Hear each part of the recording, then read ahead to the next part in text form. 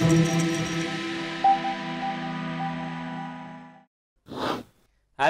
Sobat Pintar, kita berjumpa lagi di fitur AP Live. Tetap bersama saya, Kak Redi, tentor kalian semua untuk mata pelajaran matematika. Bagaimana kabarnya nih pejuang UN? Tetap semangat ya. Nah, sekarang Kak Redi punya bahasan materi tentang baris dan deret aritmatika maupun geometri. Nah, di sini baris dan deret geometri itu mesti muncul di setiap ujian nasional. Maka dari itu, perhatikan dan catat baik-baik pembahasan yang diberikan Kak Redi kali ini.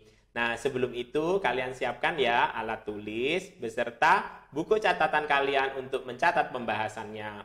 Oh iya loh, jangan lupa ya untuk ajak teman kalian mendownload aplikasi Aku Pintar di Google Play Store maupun App Store.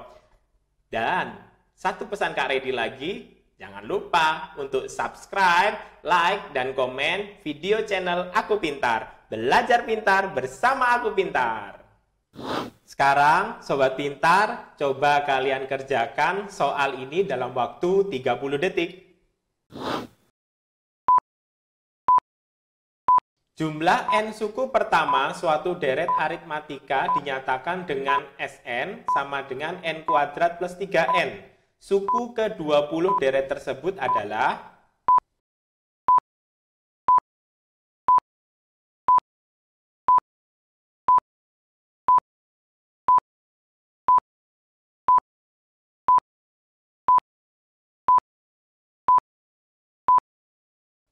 Sudah menemukan jawabannya? Mari kita bersama-sama bahas soal ini. Di sini ada rumus SN. SN-nya adalah Sn sama dengan N kuadrat plus 3N. Di sini yang ditanyakan adalah suku ke-20, maka kita harus mencari rumus UN. Untuk mendapatkan rumus UN, kita harus mencari suku pertama atau A-nya dan suku keduanya, sehingga nanti kita bisa mendapatkan bedanya. Maka di sini Kak Redi akan mulai dengan mencari S1-nya terlebih dahulu. Sehingga S1 sama dengan 1 kuadrat ditambah 3 kali 1. 1 kuadratnya 1 ditambah 3 kali 1, 3. Sehingga 1 tambah 3, 4. S2 sama dengan 2 kuadrat ditambah 3 kali 2. 2 kuadrat 4, 3 kali 2, 6. 4 tambah 6, 10. Untuk mencari bedanya, maka di sini S1 itu sama dengan U1, yaitu sama dengan A atau suku pertama sama dengan 4. Di sini untuk mencari UN, UN sama dengan SN dikurangin SN-1. Maka untuk U2-nya sama dengan S2 dikurangin S1. Nah, di sini S2-nya kan 10.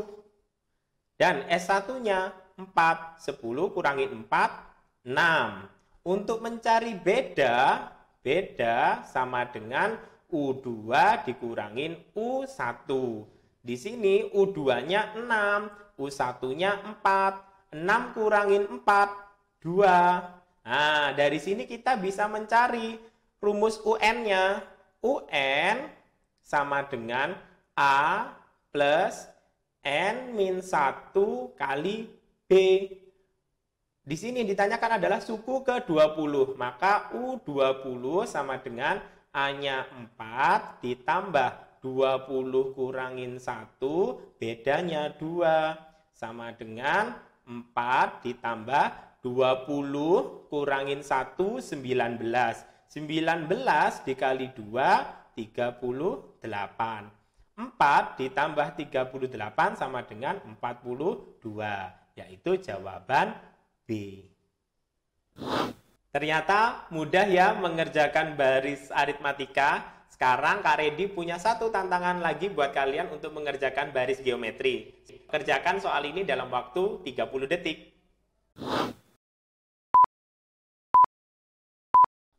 Barisan geometri dengan U7 sama dengan 384 dan rasio sama dengan 2. Suku ke-10 barisan tersebut adalah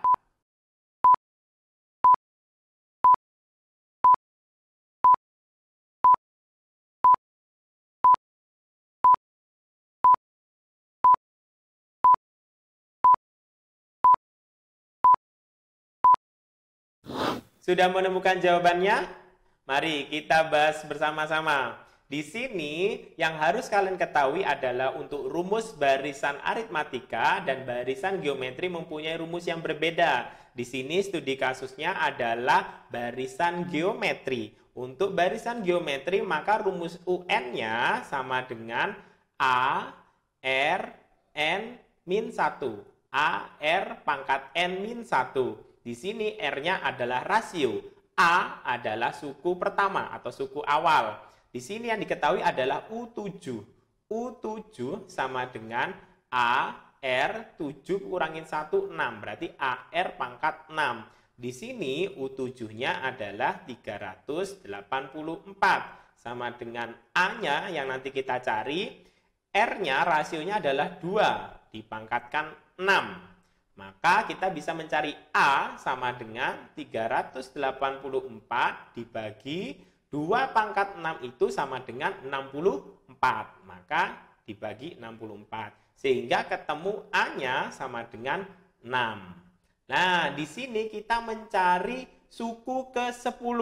Maka U10 U10 sama dengan A R 10 kurangin 1 9 berarti AR pangkat 9 maka sama dengan A nya 6 R nya 2 dipangkatkan 9 6 2 pangkat 9 itu 512 maka 6 kali 512 sama dengan 3072 yaitu jawaban B setelah mengerjakan soal tadi, kalian sudah pasti mengetahui bedanya antara baris aritmatika dan baris geometri. Sekarang Kak Redi punya soal aplikatifnya. Silahkan kalian kerjakan soal ini dalam waktu 30 detik. Sebuah pabrik memproduksi barang jenis A pada tahun pertama sebesar 1960 unit. Tiap tahun produksi turun sebesar 120 unit sampai tahun ke-16.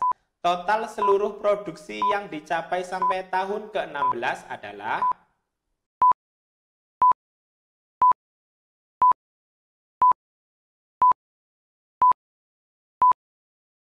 Bagaimana sobat pintar? Sudah menemukan jawabannya? Mari kita bahas bersama-sama soal ini. Di sini ada tahun pertama, maka tahun pertama itu adalah U1 sama dengan 1960 unit. Ternyata produksinya turun tiap tahun secara tetap 120 unit. Kalau turun secara tetap 120 unit, berarti itu adalah beda. Maka kalau ada beda, bahwa soal ini termasuk kategori baris aritmatika. Maka bedanya di sini adalah sama dengan 120 unit. Nah, di sini adalah mencari total seluruh produksi. Maka yang harus dicari adalah SN-nya atau totalnya. Rumusnya SN sama dengan N per 2 dikali U1 ditambah UN. Nah, di sini yang diketahui sampai tahun ke-16. Maka kita harus mencari U16-nya dari rumus UN. Maka rumus UN-nya adalah UN sama dengan A plus N min 1B. Nah, maka U16 sama dengan A-nya 1960 ditambah N-nya 16 kurangin 1 bedanya 120. Maka sama dengan 1960 ditambah 16 kurangi 1 kan 15. 15 dikali 120 itu 1800. 1960 ditambah 1800 3760. Nah, di sini sudah ketahui U16-nya, maka kita bisa masuk ke rumus SN. Maka S16 yaitu total produksi sampai tahun ke-16 16 N-nya per 2 dikali U1-nya berapa? 1960 ditambah U16-nya. U16-nya 3760. Maka 16 dibagi 2 itu 8. 1960 ditambah 3760 itu sama dengan 5720. Maka 8 dikali 5720 45.760 yaitu jawaban A. Kita lanjut ke soal berikutnya ya Sobat Pintar. Silakan Sobat Pintar kerjakan soal ini dalam waktu 30 detik. Suku ketiga dan suku ketujuh suatu deret geometri berturut-turut adalah 16 dan 256. Jumlah tujuh suku pertama deret tersebut adalah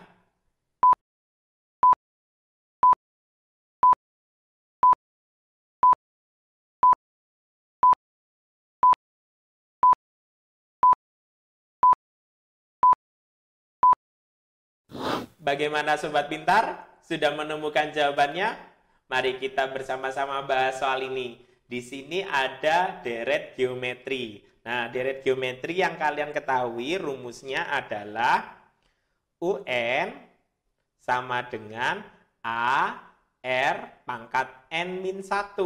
Di sini ada suku ketiga. Berarti U3 sama dengan A R 3 kurangin 1, 2. Nah, di sini suku ketiganya adalah 16. 16 sama dengan A R pangkat 2. Nah, maka A-nya sama dengan 16 per R pangkat 2. Suku ketujuhnya U7 sama dengan A R 7 kurangin 1, 6. Maka R pangkat 6. U7-nya 256 sama dengan A-nya kita pakai ini. Nah, A-nya kita pakai ini jadi 16 per R pangkat 2 dikali R pangkat 6. Maka R pangkat 6 dibagi R pangkat 2 sama dengan R pangkat 4. Pembagian bilangan berpangkat, pangkatnya dikurangin. Maka menjadi 256 sama dengan 16 kali R pangkat 4. Maka R pangkat 4 sama dengan 256 dibagi 16. R sama dengan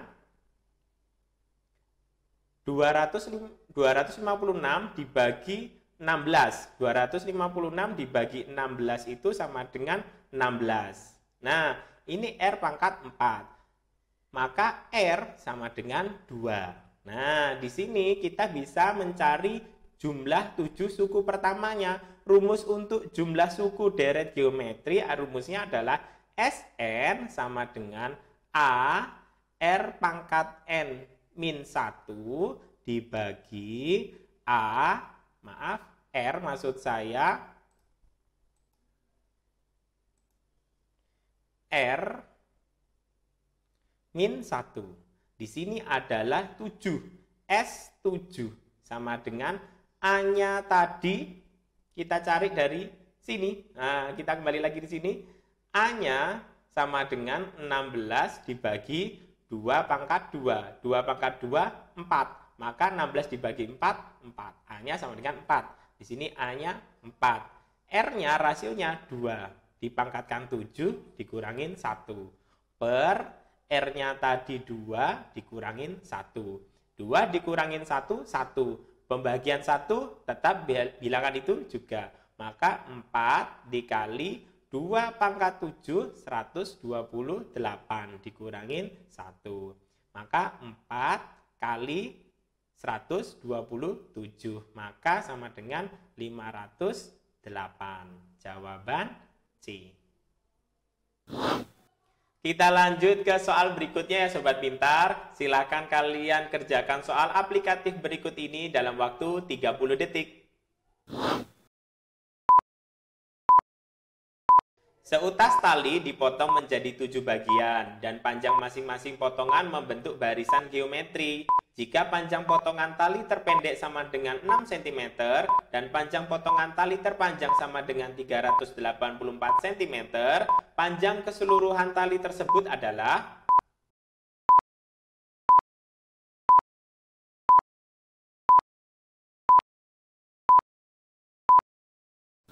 Bagaimana sobat pintar? Sudah menemukan jawabannya? Mari kita bahas bersama-sama soal ini. Di sini Kak Redi akan menuliskan yang diketahui dulu ya. Di sini yang diketahui adalah potongan tali terpendek. Potongan tali terpendek itu adalah U7-nya sama dengan 6. Dan potongan tali terpanjangnya adalah U1 sama dengan 384. Nah, di sini U1 itu sama dengan A.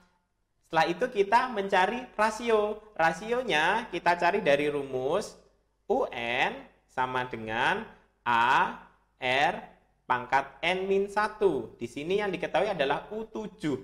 Maka U7 sama dengan A R pangkat 6. U7-nya 6 sama dengan A-nya 384 kali R pangkat 6. Maka R pangkat 6 sama dengan 6 dibagi 384.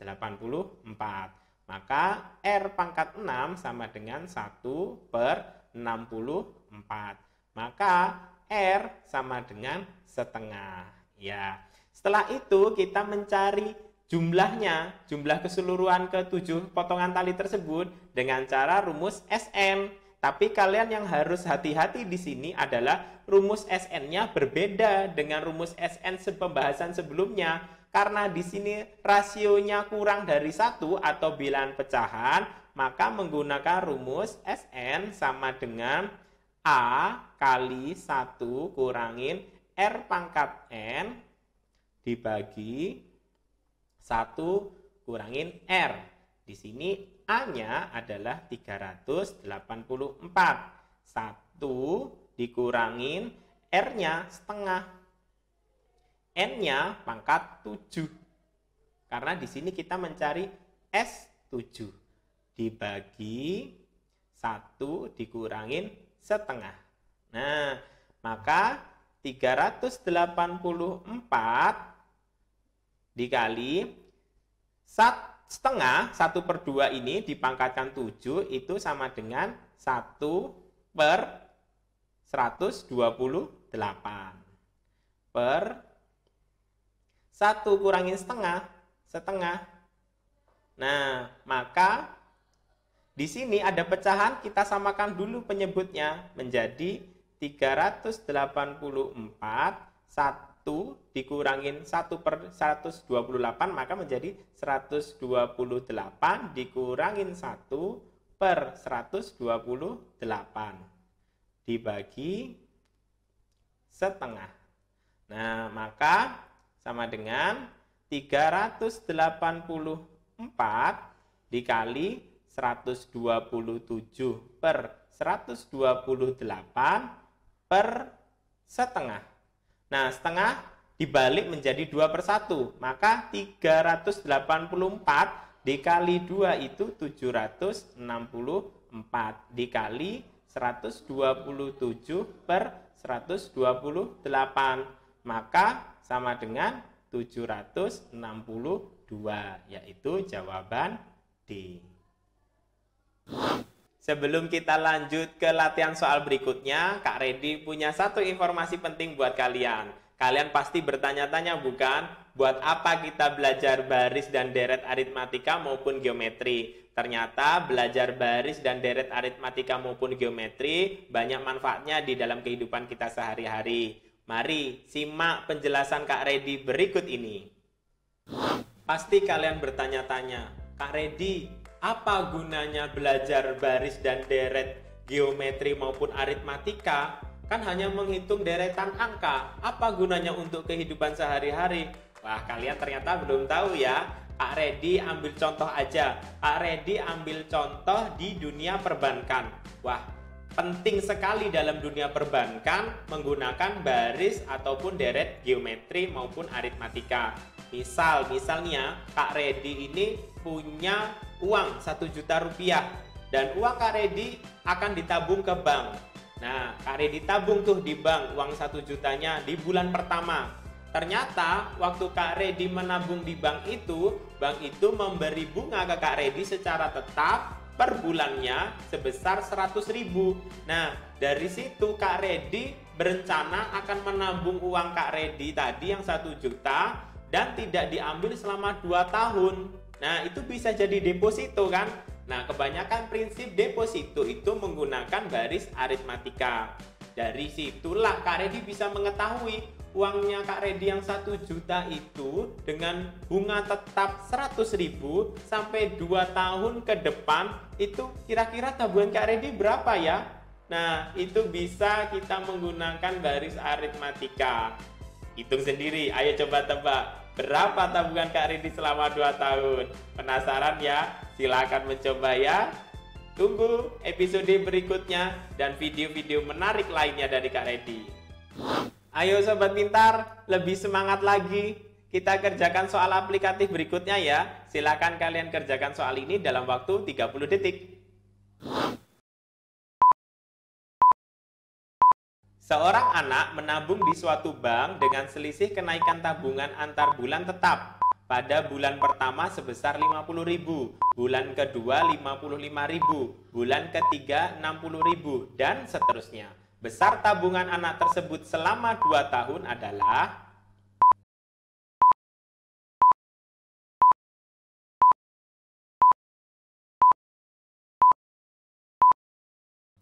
Bagaimana sobat pintar? Sudah menemukan jawabannya? Mari kita sama-sama bahas soal ini. Di sini Kak Redi tulis lagi ya yang diketahui. Di sini yang diketahui adalah tabungan bulan pertama. Bulan pertama itu sama dengan U1. U1-nya sama dengan 50.000. Dan bulan kedua U2-nya 55.000. Nah, dari sini kenaikan bulannya tetap.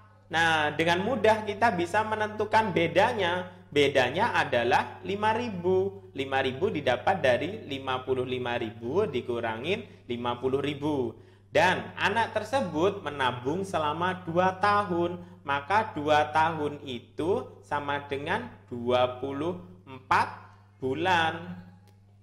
Nah, di sini yang harus kita cari adalah jumlah keseluruhan anak itu menabung selama 2 tahun atau 24 bulan. Maka yang dicari adalah S24. Nah, rumus SN tadi adalah N per 2 dikali 2A ditambah N min 1 kali B. Nah, di sini N-nya kan 24. Dibagi 2. 2 dikali A-nya 50.000, suku pertamanya. Ditambah N-nya 24 dikurangin 1, bedanya 5000. Maka 24 dibagi 2, 12 2 kali 50 ribu, 100 ribu, ditambah 24 dikurangin 1, 23. 23 dikali 5 ribu, 115 ribu. Maka 12 dikali 100 ditambah 115 ribu, 100 ribu ditambah 115 ribu, 215 ribu. Maka 12 dikali 215 ribu sama dengan 2 juta 580 ribu. Nah, maka jawabannya adalah D. Masih semangat ya untuk mengerjakan tantangan berikutnya? Silakan kalian kerjakan soal ini dalam waktu 30 detik. Suku ke N suatu deret aritmatika adalah UN sama dengan 3N min 5. Rumus jumlah N suku yang pertama deret tersebut adalah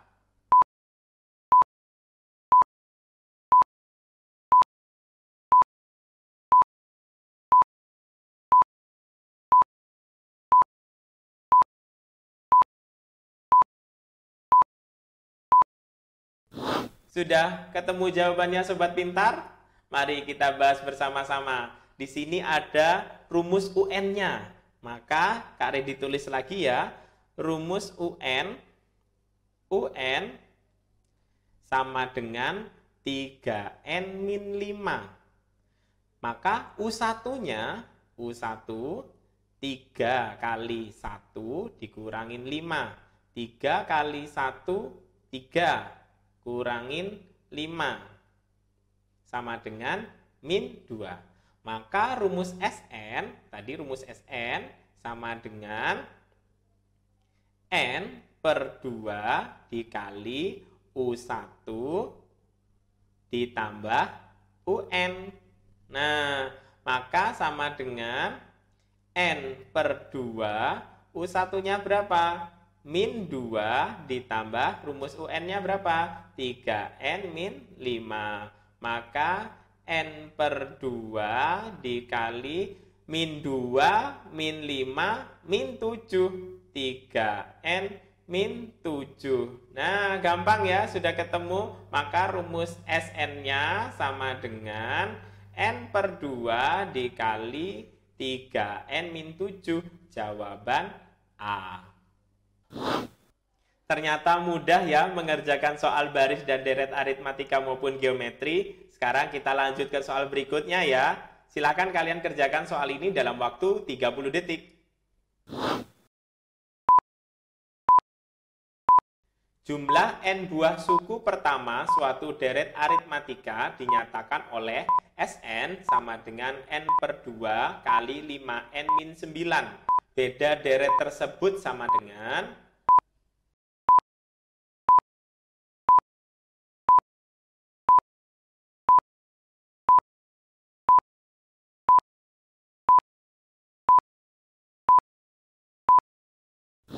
Sudah menemukan jawabannya sobat pintar? Mudah ya? Yuk kita bahas bersama-sama soal ini. Di sini sudah diketahui rumus SN-nya.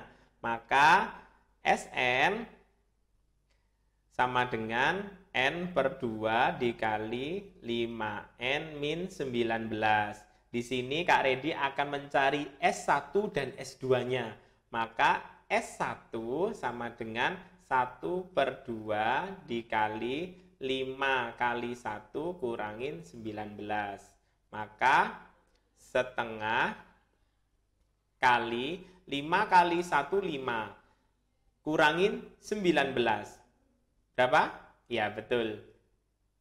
14. Min 14. Maka min 14 dibagi 2 sama dengan min 7. Maka S2-nya sekarang. S2 sama dengan 2 per 2 dikali 5 kali 2 dikurangin 19. Maka 2 per 2, 1. 5 kali 2, 10. 10 kurangin 19 min 9. Nah, di sini kita sudah mengetahui S1 dan S2-nya. Dengan mudah kita bisa mencari rumus UN-nya. Maka UN sama dengan SN dikurangin SN min 1.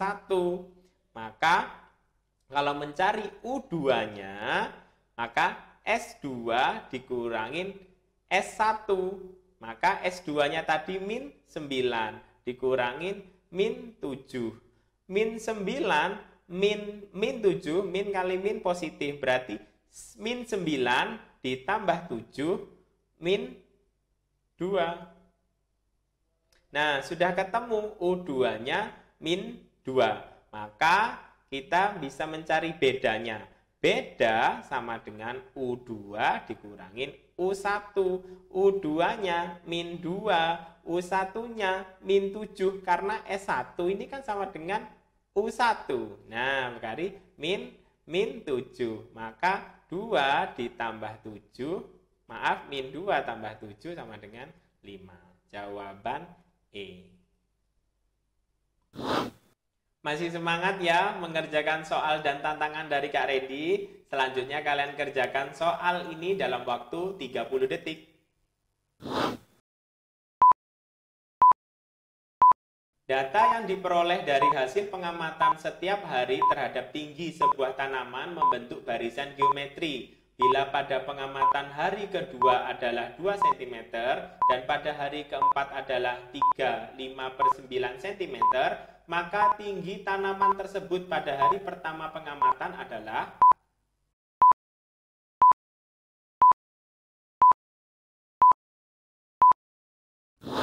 Bagaimana sobat pintar? Sudah ketemu jawabannya? Mari kita bahas bersama-sama. Di sini yang ditanyakan adalah hari pertama pengamatan. Berarti kita mencari A-nya dari barisan geometri itu. Di sini yang diketahui adalah U2. U2 maka A kali R pangkat 1. R pangkat 1 tidak perlu ditulis. U2-nya 2 sama dengan A kali R.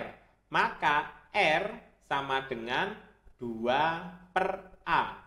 Di sini ada hari keempat. U4 sama dengan A R pangkat 3. 4 kurangi 1, 3. U4-nya 3, 5 per 9. Sama dengan A kali R pangkat 3. R-nya 2 per A pangkat 3. Di sini ada pecahan campuran. Pecahan campurannya Kak Redi jadikan pecahan biasa sehingga menjadi 32 per 9 sama dengan A kali 2 pangkat 3 itu 8 per A pangkat 3. Nah, A pangkat 1 dibagi A pangkat 3 maka yang di bawah A pangkat 2. Maka jadi 32 per 9 sama dengan 8 per A pangkat 2. Di sini Kak Redi kalikan silang ya. Nah, di sini kalikan silang. Maka menjadi A pangkat 2 sama dengan 9 kali 8 dibagi 32. Maka A pangkat 2 sama dengan 9 kali 8, 72 per 32. Maka A sama dengan akar dari 72 per 32. Nah, di sini 72 per 32 kan bisa disederhanakan. Sama-sama dibagi berapa? Ya benar, sama-sama dibagi 8. Maka kalau dibagi 8, akar 9 per 4. Maka A sama dengan 9 keluar dari akar 3, 4 keluar dari akar 2, 3 per 2 sama dengan 1 setengah. Jawaban C. Ayo sobat pintar, lebih semangat lagi. Kak Redi punya satu tantangan buat kalian. Di sini ada soal sigma. Masih ingat kan tentang sigma? Silakan kalian kerjakan soal ini dalam waktu 30 detik.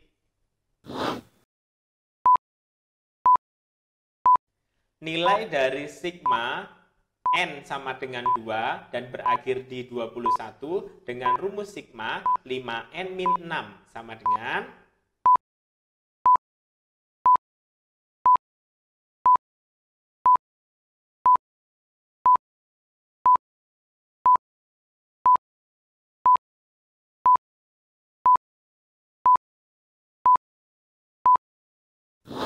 Bagaimana sobat pintar? Sudah ketemu jawabannya? Mari kita bahas soalnya ini bersama-sama. Sigma itu adalah jumlah deret. Di sini sigmanya jumlah deretnya berakhir di angka 21. Tapi N-nya mulainya dari angka 2. Maka di sini 5 kali 2 karena N-nya dimulai dari 2. 5 kali 2 dikurangi 6 ditambah 5 kali 3 setelahnya 2 kan 3 dikurangin 6 ditambah 5 kali 4 dikurangin 6 begitu seterusnya sampai dengan 5 kali 21 kurangin 6. Nah, sama dengan 5 kali 2, 10. 10 kurangin 6, 4. Ditambah 5 kali 3, 15. 15 kurangin 6, 9. Ditambah 5 kali 4, 20. 20 kurangin 6, 14. Ditambah begitu seterusnya sampai 5 kali 21 dikurangi 6 itu kan 99. Maka di sini kita harus seleksi dulu masuk ke baris aritmatika atau baris geometri. Lihat, apakah di sini ada bedanya? Ternyata ada. 9 dikurangi 4, bedanya 5. 14 dikurangi 9, 5 juga. Dengan beda tetap, berarti dia termasuk adalah barisan aritmatika. Sehingga kita bisa mencari SN. Nah, SN kan jumlah ke seluruh bilangan.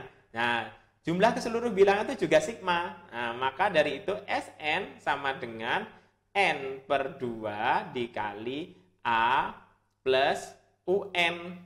Nah, di sini kan SN-nya sampai 20. Loh, kenapa Kak Redi kok sampai 20? Karena N-nya tidak dimulai dari angka 1, tapi 2. Maka jumlahnya adalah ke-20 bilangan itu. Maka N-nya 20 per 2 dikali A-nya 4 ditambah UN-nya UN U20. U20 kita cari dari mana? Ya, dari baris ini yang terakhir. Ini kan U20, 99-nya. Ini U20. Maka ditambah 99.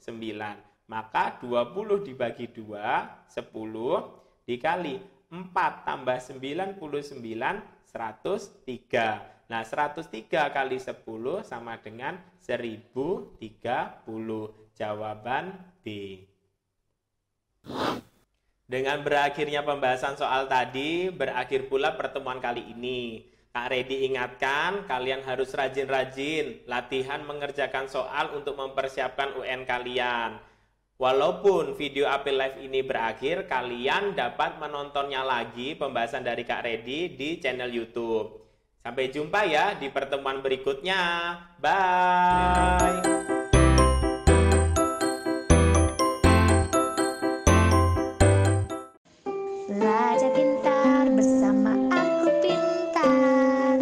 sekarang.